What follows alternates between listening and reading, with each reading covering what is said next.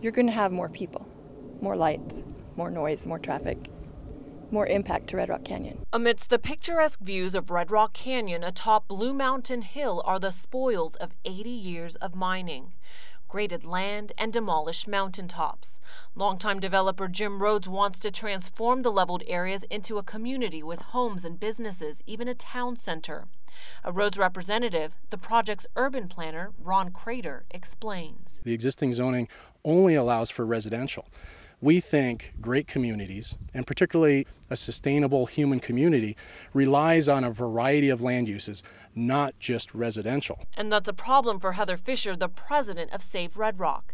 Fisher says her organization is not opposed to developers building homes in the approved area, it's that they want too many.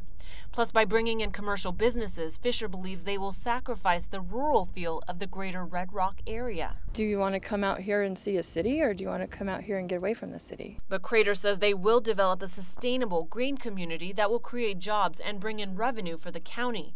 He says they will install low light fixtures that won't drastically affect the dark night sky of Red Rock.